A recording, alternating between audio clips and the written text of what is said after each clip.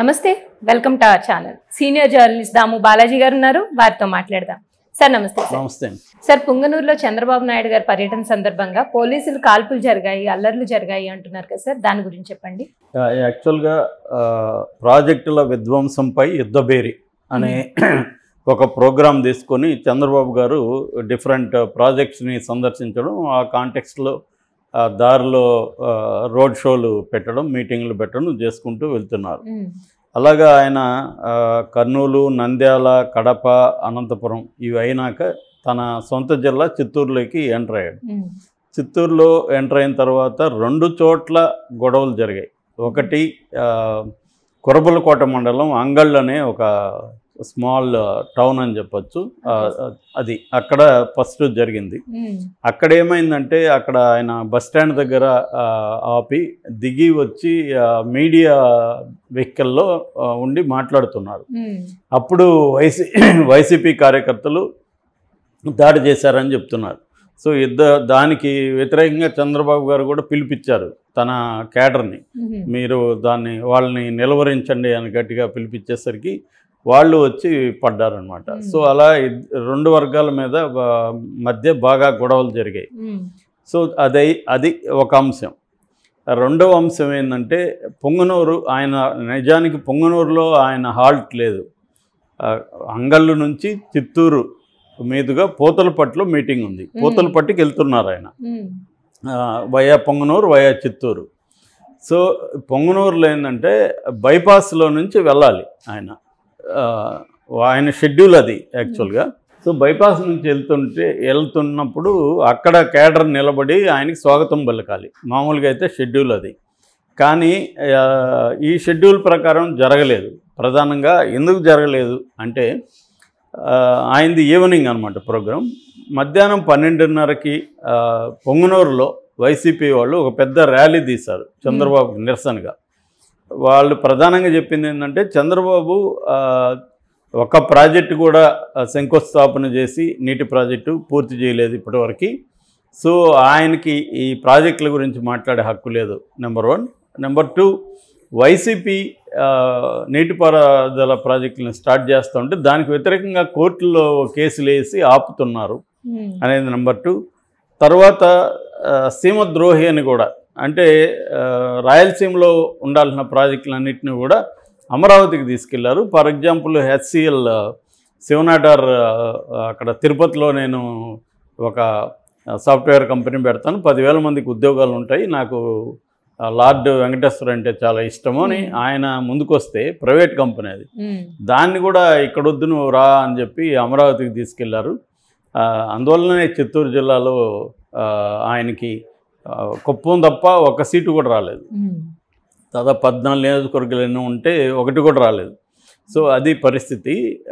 రెండవది ఎయిమ్స్ అనంతపూర్కి వస్తే దాన్ని కూడా అమరావతికి తీసుకెళ్ళారు అని వాళ్ళు ఉద్యమకారులు చెప్తూ ఉద్యమాలు అక్కడ నిరసన తెలియజేశారు. ఎప్పుడైతే ఇది తెలియజేశారో వీళ్ళకి ఎందుకు పర్మిషన్ ఇచ్చారు మీరు? ఈ పర్యటన సందర్భంగా వీళ్ళకి పర్మిషన్ ఇవ్వకూడదు కదా అని తెలుగుదేశం వాళ్ళు ప్రశ్నించారు పోలీసుల్ని. ప్రశ్నించడంతో పాటు ఏం చేశారంటే వాళ్ళు తెలుగుదేశం వాళ్ళు ఈవినింగ్ పొంగనూరులోకి ప్రవేశించడానికి ట్రై చేశారు. చంద్రబాబు గారిని కూడా పొంగనూరులోకి రమ్మని వాళ్ళు రిక్వెస్ట్ చేశారు.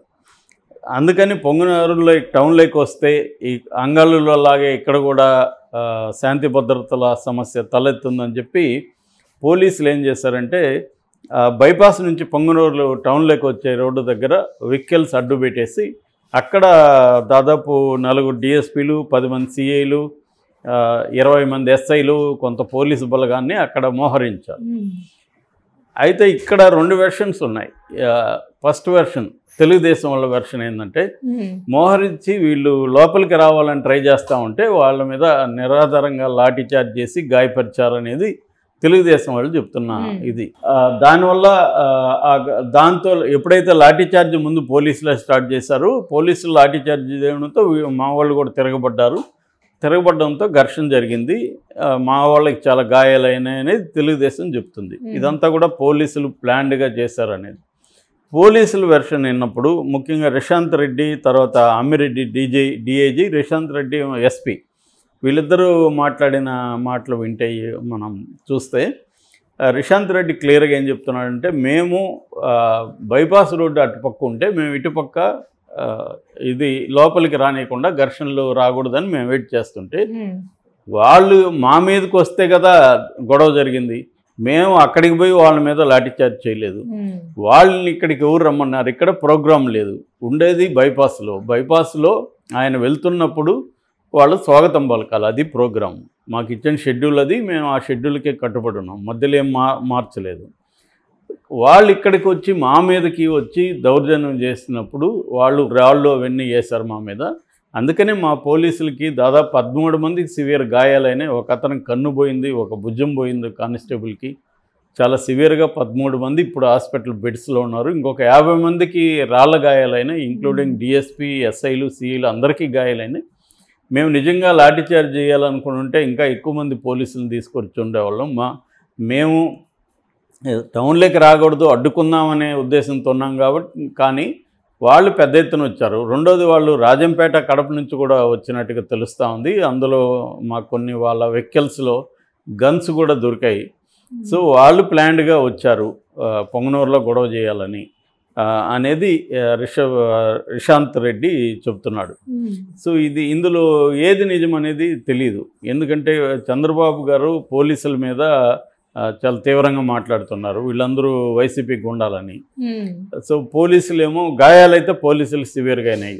తెలుగుదేశం వాళ్ళకి కూడా అయినాయి గాయాలు.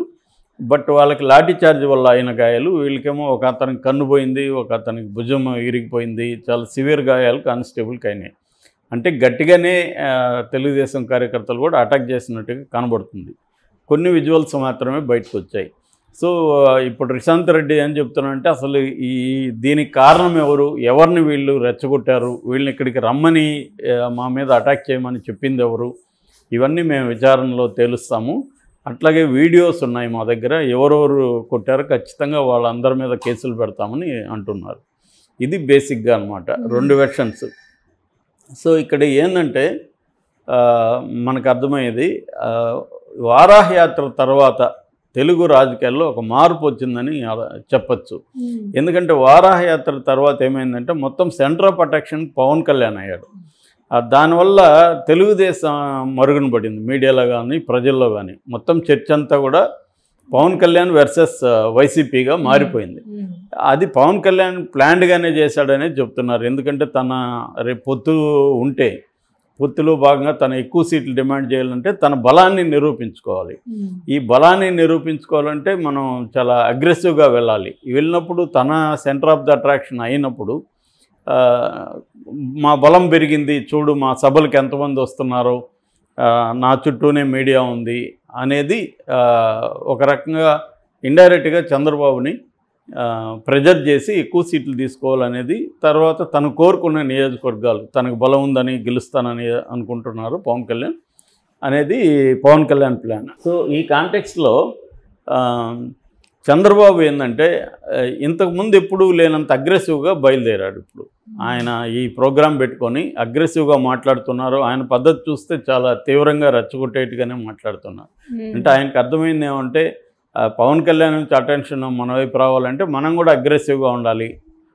ఇది పనికిరాదు. ఎందుకంటే లోకేష్ అంత అగ్రెసివ్గా ఉండలేకపోతున్నాడు. లోకేష్ పాదయాత్రకి రావాల్సినంత మైలేజీ రావట్లేదు. దాంతో ఈయన స్వయంగా రంగంలోకి దిగి ఈ ప్రాజెక్టుల ప్లాన్ చేసుకొని అగ్రెసివ్గా వెళ్తున్నాడు. పులివెందుల్లో కూడా చూసాం. పులివెందుల్లో కూడా వైసీపీ వాళ్ళు గొడవకి వచ్చారు. ఈయన అగ్రెసివ్గా మాట్లాడారు.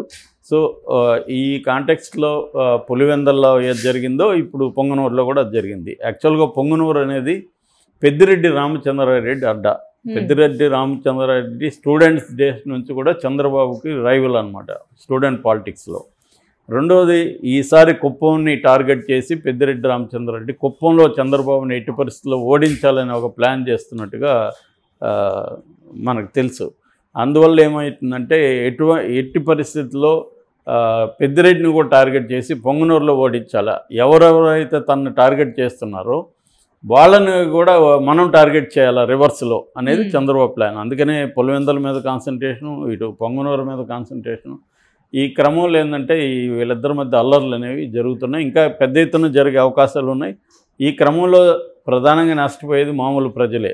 ఇప్పుడు కానిస్టేబుల్ లాంటి వాళ్ళు వాళ్ళు వెరీ కింది కేడర్ వాళ్ళు వాళ్ళకి ఒక కన్ను పోవడం ఒక భుజం పోవడం అట్లాగే తెలుగుదేశం కేడర్కి కొంత గాయాలయ్యాయి ఈ క్రమంలో జరిగేది నష్టపోబోయేది ఇదే. ఇంకా వైలెన్స్ పెరిగే అవకాశాలు అయితే పెద్ద ఎత్తున ఉన్నాయి.